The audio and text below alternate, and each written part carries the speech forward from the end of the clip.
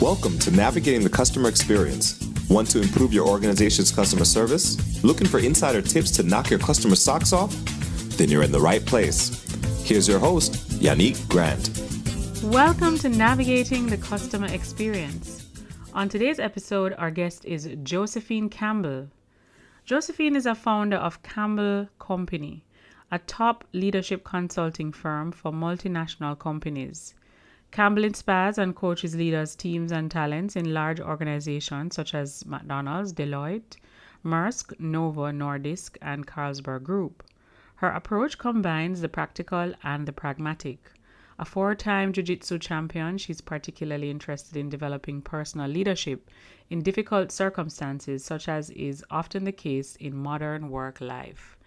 So, without further delay, sit back, plug your earphones in, and let's jump right into this conversation with Josefine. Welcome, Josefine.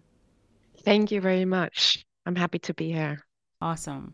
Now, Josefine, even though we read a short description about our guests, we always like to give our guests an opportunity to share a little bit about their journey. So, could you share with our listeners a little bit about your journey, how you got from where you were to where you are today? Yes. So, when I was a teenager, I was quadruple national champion in Jiu Jitsu. It's a Japanese martial arts. And and for the last many years, I've been coaching and developing executives individually and in groups. And at some point in my pra- I have a background in business. You know, practice, I have run businesses myself. I've been in business for plus 25 years. I've also been teaching at business school. And at some point, quite early on actually, um, in my endeavor of supporting the executives that I was helping in the best possible way, I realized that some of the techniques and practices that I brought with me from the jiu-jitsu practice actually had a huge effect when working with executives in modern work life. Because being an executive is quite demanding especially in modern work life. It takes a lot of energy. It it requires for you to stay mentally clear under difficult circumstances. It's, it's quite normal to be under a lot of pressure just like as when you're in a battle it's the same thing that happens to people when they feel threatened um, in a battle and when they feel threatened at work. The circumstances might look different, but what happens inside people can be quite similar. And um, have you watched Karate Kid? I have. Movie? Yes. Uh, yeah. So you remember the Mr. Miyagi? I did. Wax yeah. on, wax off so he he trains karate kid in how to be mentally agile how to stay ready in a battle right? So one thing is he, he trains the techniques but he also trains how he is with himself. That's a lot of the movie. Remember that's why he has to do the wax on the wax on. And and it's it's the same for executives it's it takes a lot of personal capacity to do the work they do. So that's how I came up across the methods that uh, that I've written about and that I've helped executives put into practice. All right. Thank you for sharing. Now, in reading a little bit about your story, I notice a big part of what that you do focuses on the power barometer, right? So, can you mm-hmm. share with our listeners a little bit about that and um, how it is that you are able to implement? You know, what what is the power barometer? Let's start there. Yeah, so the power barometer is a imaginary tool that anyone can apply personally, alone, individually, and in teams at work. So um, it's a way of checking in on your personal energy level. And checking in on your personal energy level is important because energy is the fuel of the brain. Your brain uses 20% of your personal energy. It's quite a lot because it's only the size of 3 to 4%. And if you're low on energy, your brain doesn't run Very well. So if you're unaware of that, you're not capable of performing in the same way as if you have the self-awareness of where your energy is Mm-hmm. here and now. And the same thing counts for what happens in teamwork. So one thing is that each and every one of us should take responsibility for our own personal energy, the personal energy that we bring to the table. But in a meeting, everybody should take responsibility for the energy at the meeting. So, so tell me, have you ever been in a meeting where someone suddenly took all took out all the energy of the room? Yeah, that's happened quite a few times. Yeah, right. And what happens to productivity in in, in such a case? It declines. Yep, engagement It declines. and retain. Yeah, and retention. If it Declines as happens well. quite a lot. Yeah, yeah, yeah. So, and performance. Does people come up with cr- creative, innovative ideas?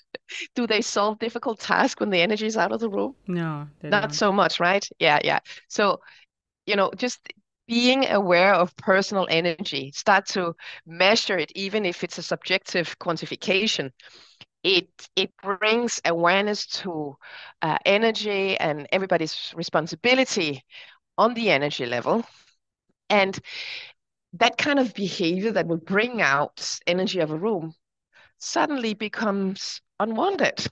And for many reasons, that is good. All right. All right. So so it's it's it's about balancing and it's about energy. Could you share with us um uh three maybe two to three approaches, tactics, tools that you can use to manage energy in work and life because you know we all have our personal life but we also have our professional life and how do we balance having energy in both so that you know either area is not getting diminishing returns If if I may, uh, because you say personal and professional life, actually a point, a, a, very important takeaway from my book is that business is personal. So there's there's a difference between private and professional life. So that's is is in opposition. There's things that happens in your weekend, within your family, that's private. But and what happens at work, what you have to do at work, it's professional.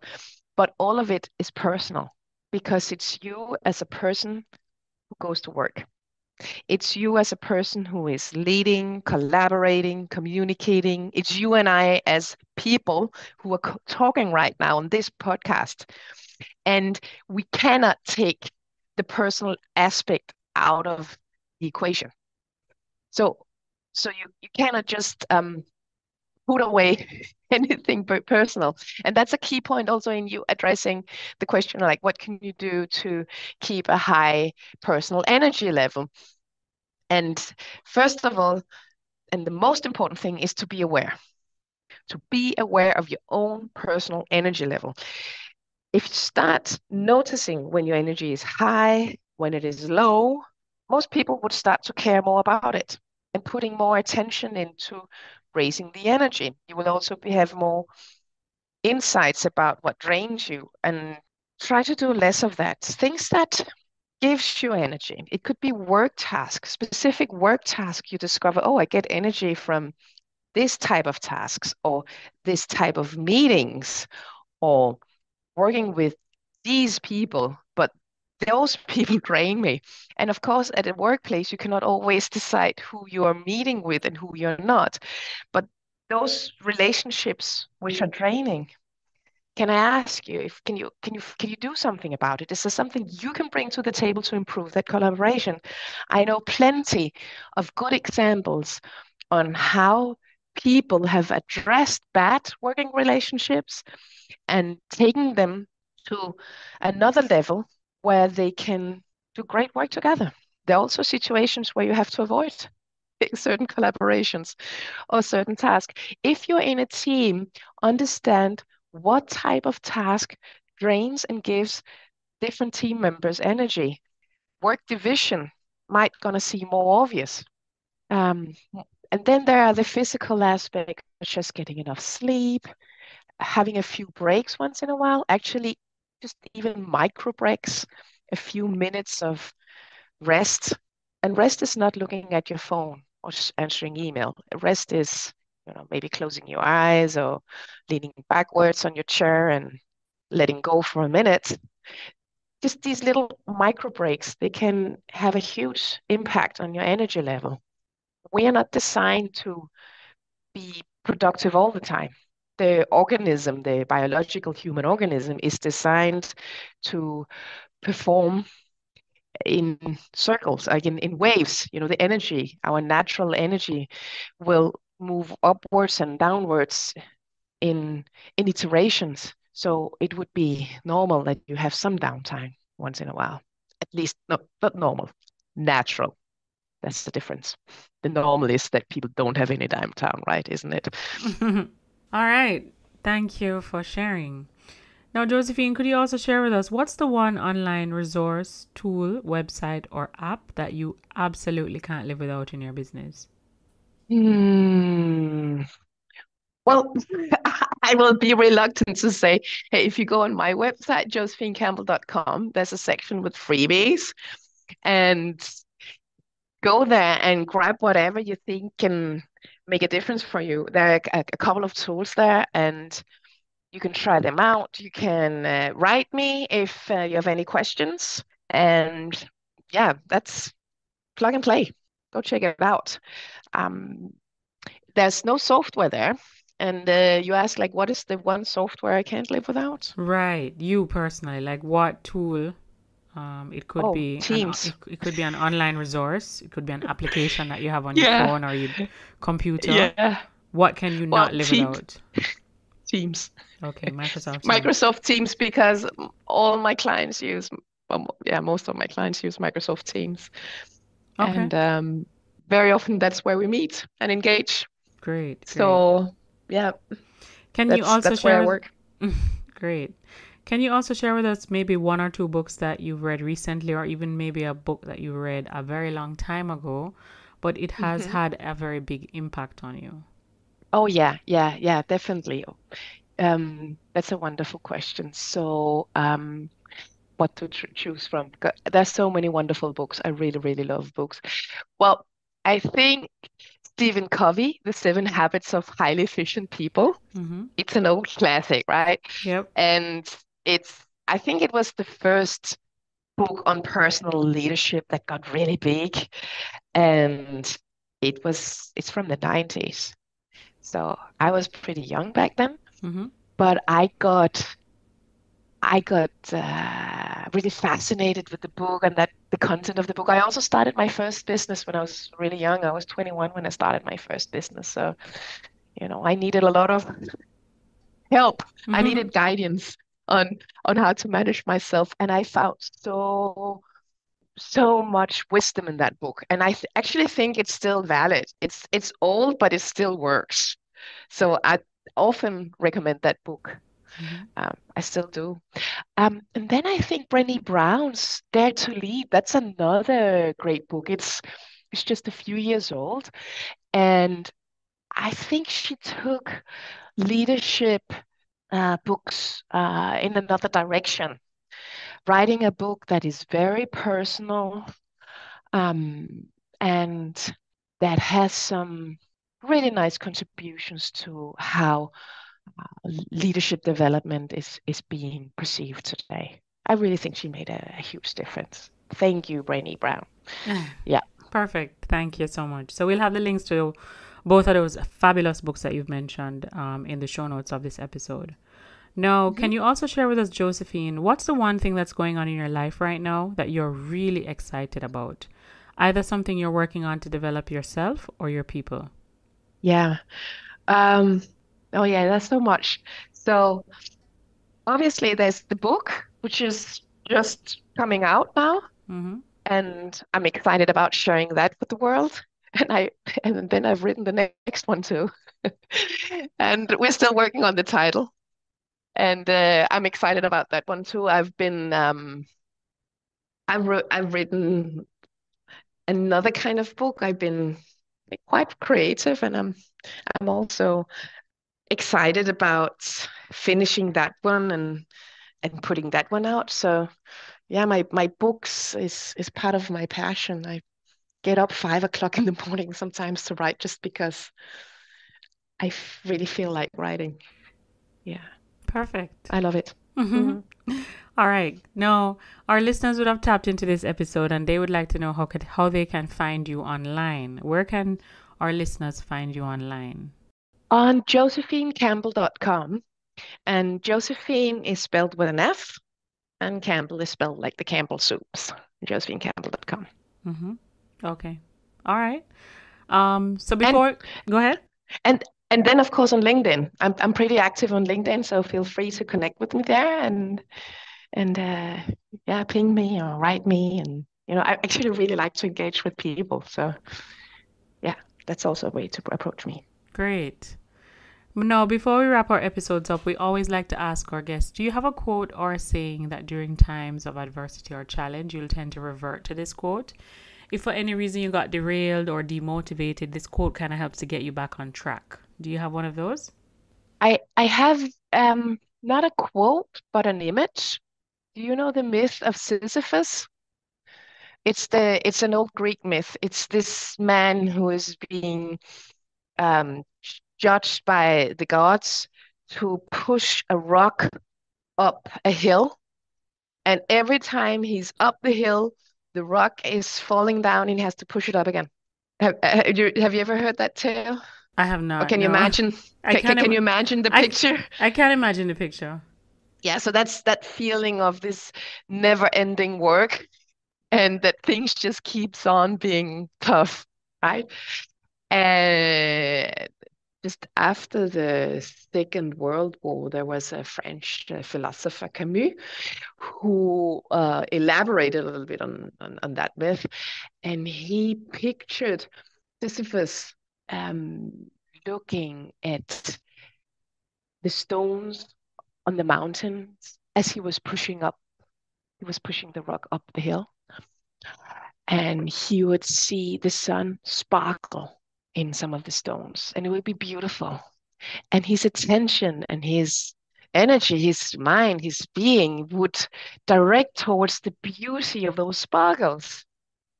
And that would make the rock and himself feel lighter and and that's what I try to do. I try to find just that little spark, and you know, those times where it's really dark and it's tough and it feels like it's never gonna end. Mm-hmm. Though we know it's gonna end, you know, there's always light at the end of the tunnel, but sometimes it just doesn't feel like that. Sure. Then I try to find these little sparks of light that beams, and and that can often just give a little more energy to get done whatever needs to get done. All right. Perfect. Thank you so much. I guess um, another way to look at that is um, the quote, "This too shall pass." You know, mm-hmm. um, but you've you've you've kind of transformed it into an image, which is you know way more impactful because then it really focuses on what can you really do to navigate that space and recognize that at the end of the day it will you will overcome it it may seem like it's going to last forever but there is a solution somewhere down the line mm-hmm. Yeah, yeah, yeah. And this too shall pass. It's a really beautiful quote. I, I like that one. Mm-hmm. Yeah, obviously. That's, oh, now, now another one comes to my mind. It is the quote saying, "Everything is as it's supposed to be." Yeah. Kind of gives some kind of peace at mind, right? Mm-hmm. If you if you don't try to fix anything, or you know, if you don't try to struggle, if you just say, "Okay, things are as they're supposed to be," somehow it's all gonna make sense at the end of the day. It will. Will all fit. Mm-hmm. All right. Thank you so much, Josefine, for taking time out of your very busy schedule and hopping on this podcast and sharing all of these great nuggets and insights with us. A little bit about your journey, your new book that's coming out, um, the importance of you know preserving your energy and doing things that will lead to um, a more productive um, life, a more balanced life. So I think our our listeners definitely would have gained great information, great value from what you shared with us today. So we just want to express our appreciation for you joining us on this podcast today. Thank you, and Yanique. It was really nice talking to you. And thank you for having me on your show. Awesome. Just want to remind our listeners you can follow us on Twitter at Navigating CX and feel free to join our private Facebook group, Navigating the Customer Experience Community. Until next time, I'm your host, Yanique Grant. Thanks for listening. For more awesome resources to take your customer service game to another level, head over to navigatingthecustomerexperience.com. See you next time.